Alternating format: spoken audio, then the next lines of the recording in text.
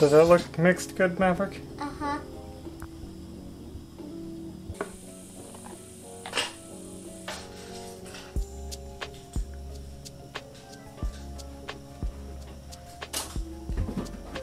Previously, we primed our wooden ceiling, which was a dark brown, and just made this room feel like a cave. Wanted to bright- brighten it up in here, so we primed it, and now today we're going to be painting. Now the color we chose for our ceiling is Vanilla Steam. Now, it might be hard to see, but Vanilla Steam, made by Valspar, is almost a beigey color, but it's a very subtle. It's white. It's like an off-white. I think on the ceiling it's going to look white, but I think it's going to be a little bit cozier than a bright white wood. We're going to see how it looks, and I think it's going to look cool on the wooden ceiling. We could probably almost roll the paint on. You know, paint always goes on a little different than the primer. Yeah. But I'm going to go with the brush. So we're going old school. Yeah, that's how people used to paint. I think it's going to come out good. Oh, look at chances. Oh, look at man. Could it get happen up that be together again?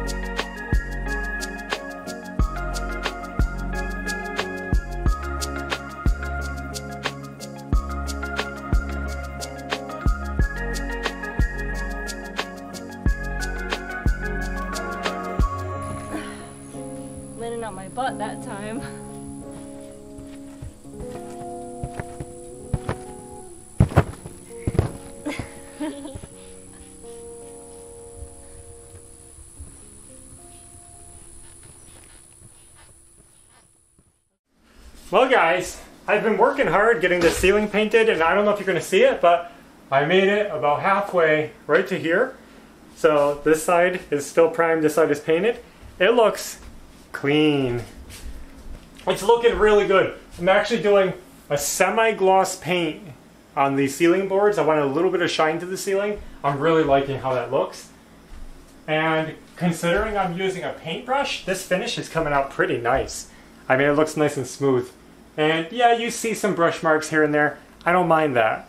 We're going for an old style house here, so it works for me. But I just wanted to show you the best I could, looking at a ceiling, how this is coming out.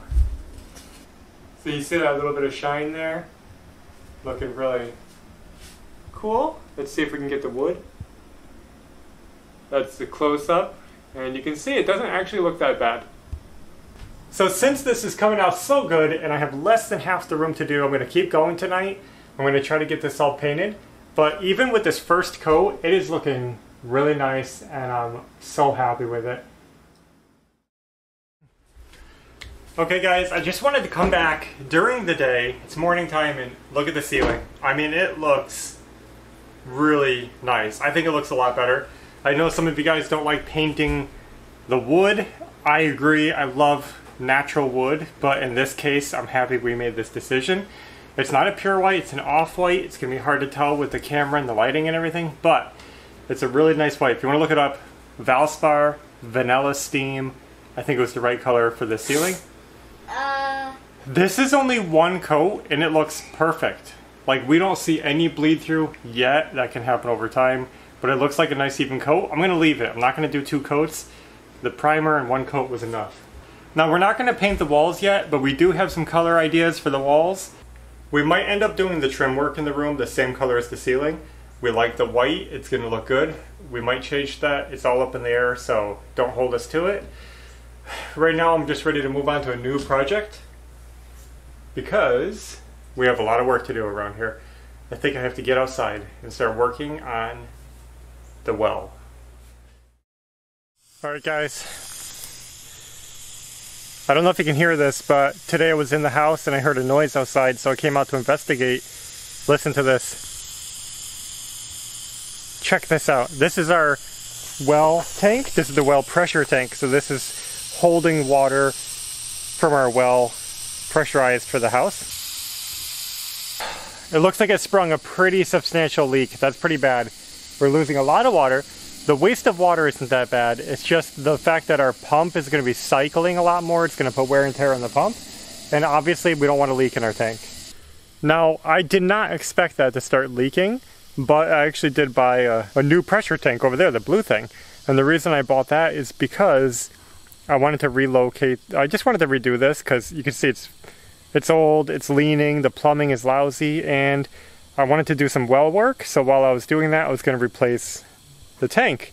I wasn't ready for this job yet, but I think we have to do it now anyway. So this platform it's on is sinking down pretty low, and you can see how much pressure it's putting on these joints. It's it's not very straight looking.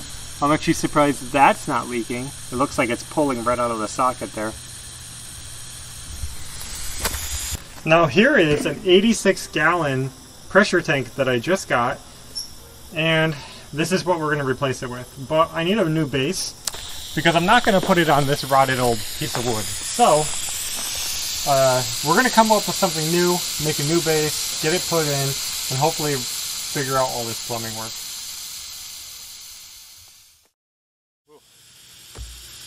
So it's time to replace the system. The first thing I have to do is make a new platform for the new water tank. That platform is shot and we're not going to use it. So I'm actually going to make one over here next to it. It'll be a better spot for it in the end because we're going to be using a different style tank that has a T. So we're going to come over into it. I think I'll just start digging right here. Now, I did turn off the power to the well because you can see we got a piece of Romex right here, which is a no-no but we got a piece of Romex going into the ground and I don't know where that's buried. So I didn't want to hit a live wire, turned off the power, and we're going to start digging carefully. We're going to try not to damage that wire.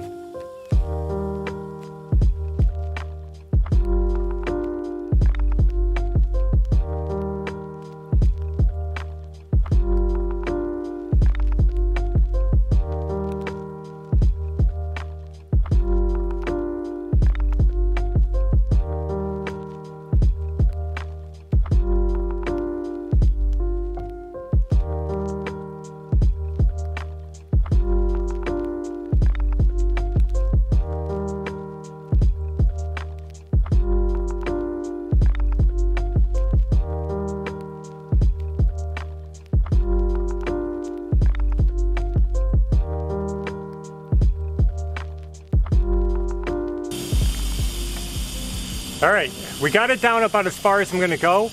It's about a foot down on the, it's about a foot deep on the back, maybe 16 inches on the front. And you can see it's already filling up with water.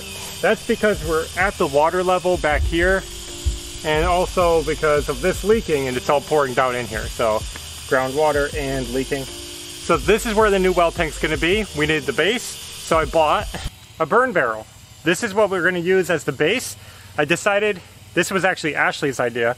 She decided that if we got a barrel, metal barrel, we could cut it to the height we want, put it in the ground, use it as a form to fill with concrete. We're gonna make a big concrete base in the ground to put our water tank on. This barrel is just an old honey barrel actually from India. So it used to have honey in it, totally clean and safe. It's not gonna matter for what we're using. I'm gonna cut the bottom off, get it leveled up in the hole, and then we can start filling it today and get that base ready. It's gonna be this massive block of concrete. It's never gonna rot. Hopefully it doesn't shift. It'll just sit in the ground nicely. That's what I'm hoping. It'll be better than this old wooden rotten thing that they made.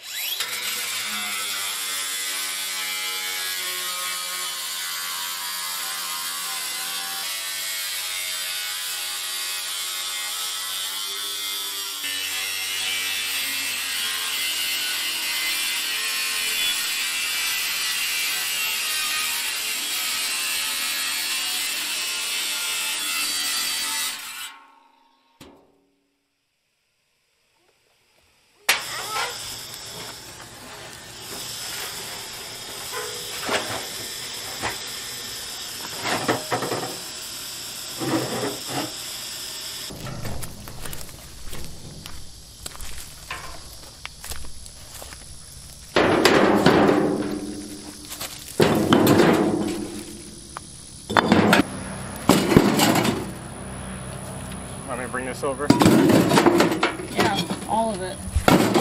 Won't that be nice to have that gone? Actually, yeah, it would be nice.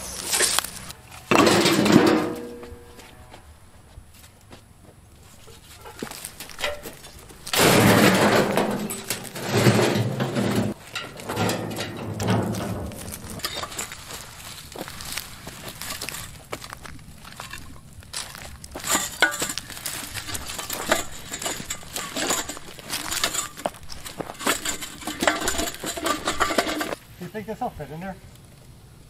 Um, it might just fit.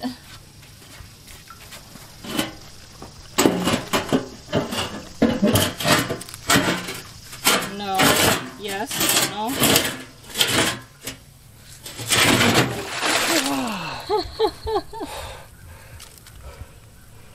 I'm blasted. Fit. So what are we doing, Ash?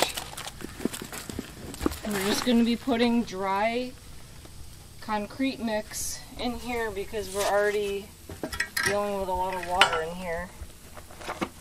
Yep. So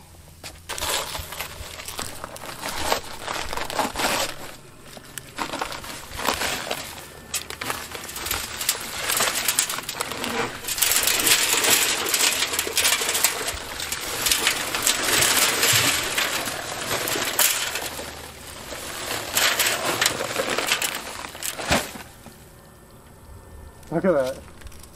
Mm-hmm. It's like dry ice.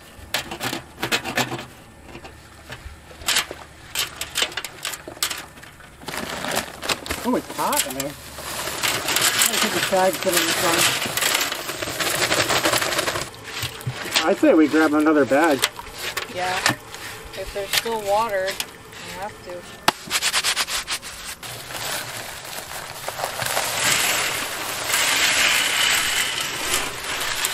It up right now before it's too heavy.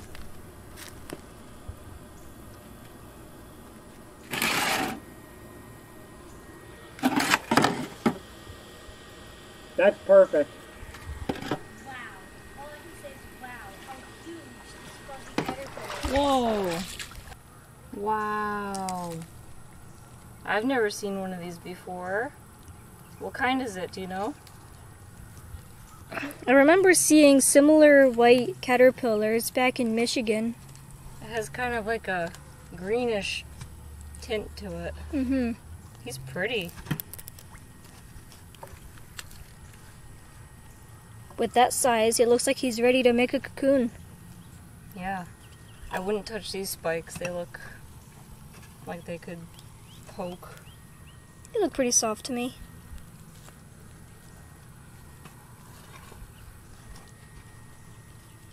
Neat.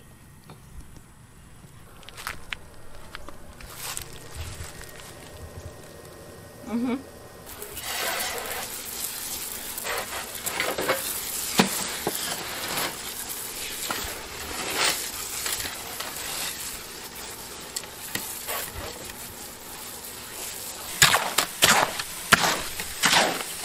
more? Yeah.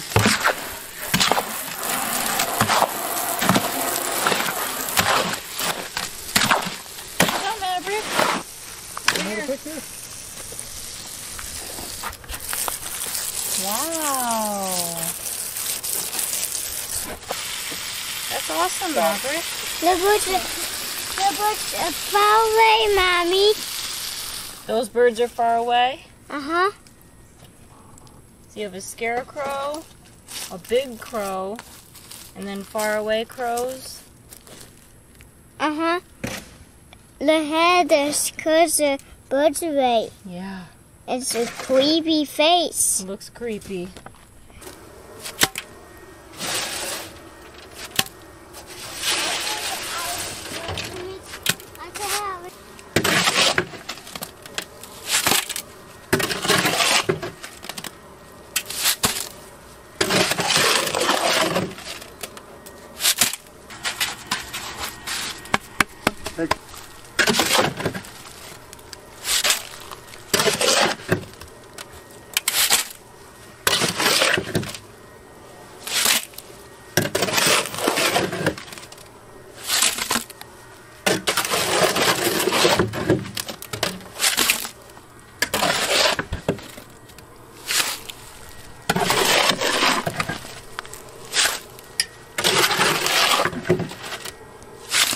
You think we'll have too much? What? Do you think we'll have too much? No.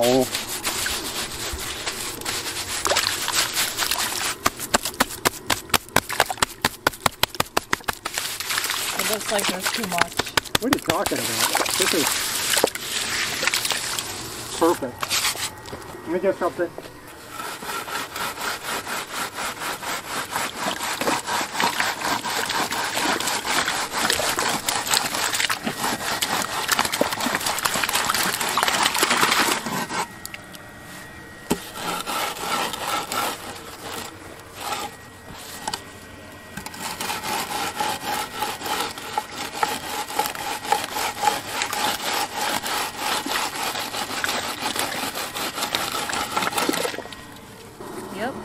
Let's see this way.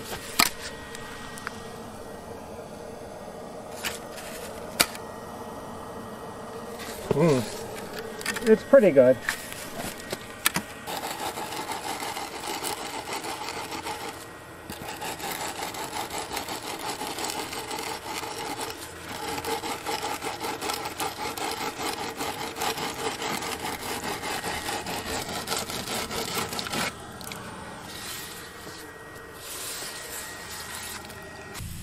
Okay guys, it is curing. It's been a few hours and I'll give you a sneak peek. Look at how smooth I got this.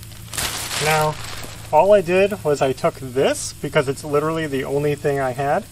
Then I used that just to smooth it out after it started hardening. So this is, you know, a little bit hard to the touch.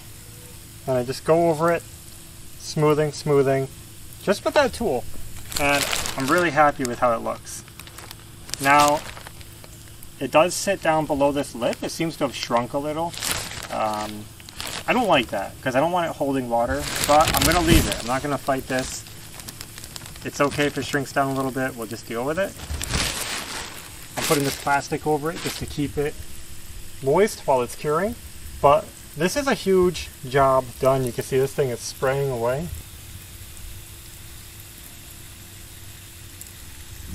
So we got to really get this done quick. Now, the barrel, you saw this. This is almost, this is like 28 inches tall. So this thing is a huge mass. It weighs uh, probably about 600 pounds of concrete in there. You saw I mixed some chunks of old concrete in there. Basically, the reason I was doing that is because it takes up space, which means less money in concrete, but also it gets them off our property. We have a lot of this broken up block, and we just want to clean up the yard. So why not hide them inside this? I don't think it'll be a problem. Anyway, so once this is dry and cured, we're going to go ahead and put the water pressure tank on there, and it's going to be like a pedestal.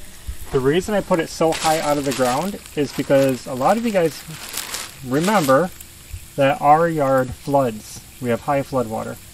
And I don't think it's going to do it often, but it has done it. So we wanted to be safe and just keep our equipment out of the water. And that's why we chose to stick this up out of the ground so far. It's going to keep it high and dry. I mean, if anything, I mean, if the water got up to it, it wouldn't be a big deal because because it also sits on its own plastic base and it's not totally flat. So it'll be fine. Anyway, we made big progress today. Now, the other question you might have is about the metal rusting. That was something I'm concerned about is how long will that barrel last before it falls apart? Honestly, I'm not worried about it falling apart. If it gets really bad, I'll just cut it off and we'll still have our concrete block in the ground. That's all we care about. The, the metal was just a form. We paid like 15 bucks for it. It was a cheap way to make a big concrete form that looks nice. Two feet wide. I think it was like a 23 inch barrel. So it just worked and it worked perfectly for what we needed. I was looking in the store for like those those uh, cardboard tubes that you put concrete in, and they don't make them anywhere big enough. So we just had to think outside the box. We're gonna we're gonna see. I think it'll last a while though. Another thing I did, which I'll give you a sneak peek right here, is I finished up this side of our house. Uh, I just installed this beam. Got this all put in it's not 100% yet. I got to add some brackets on the back side of it and attach it better. But I got this beam in, leveled, shimmed, and I also fixed these piers. I don't know if you remember, but I had a big stack of wood right here. Well, I was able to get to the store, get the blocks I needed, and I also put some copper flashing in here. Copper is going to last a long time, and it's going to be the break, the moisture break from the wood to the concrete, so you don't have it wicking up and rotting the wood out.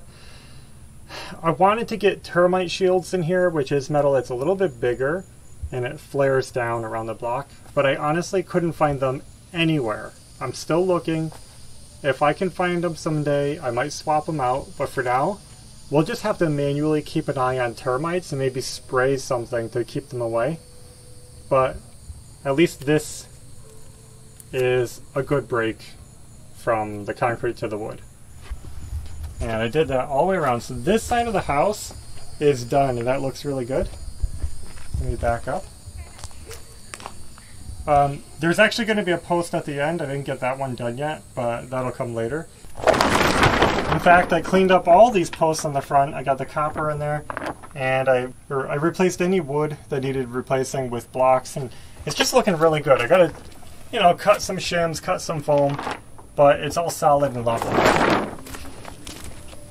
And now on the third side, you can see I still got this beam to put in, and that's going to be going, you know, right on those piers right there. So that's the last one to do, but we're making progress, and at least we got that other side done.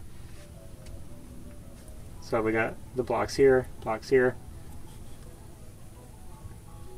We just got to cut this to length, put it up there, and get it shimmed in and attached. Well, guys, I guess we're going to wrap it up now. We got a lot done, a lot of progress made, and progress we didn't expect to make. We had this surprising leak. Actually, it happened while I was painting the ceiling. I was in there painting the room, and while I was painting the ceiling, I kept hearing this sound outside, this kind of hissing noise. I thought it was insects. I thought it was just cicadas or something, but it just kept going for so long. I said, this is weird. I'm going to go out and check it out. Saw the leak. So that's how it goes. You jump from one job to another, and we just have to keep working and getting it done. We were going to do it anyway. Yeah. Now we're forced to do it sooner. We already had the tank. We were getting prepared. Yeah, and the reason we actually want to do that, I don't know if I mentioned that in this video, but we want to extend our well out of the ground. We're going to have somebody weld an extension on it to get it get it up out of the flood zone so that we don't contaminate our well as easy during the floods. So we're going to have a lot of work coming. So thanks for watching and coming along and we'll be back soon with another video. So until next time, take care. Bye.